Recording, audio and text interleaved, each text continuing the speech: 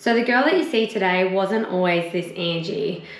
So I've gone from being double my body size, um, severely unwell. I'd had six operations by the time I was 21 with severe endometriosis. And because of my upbringing and all the health issues that was going on, it led me to have severe depression. So I changed my life dramatically through the love of finding um, aerobics Oz style aerobics online. And that got me moving my body. And I just, yeah, I guess that was the beginning of my self discovery of Angie.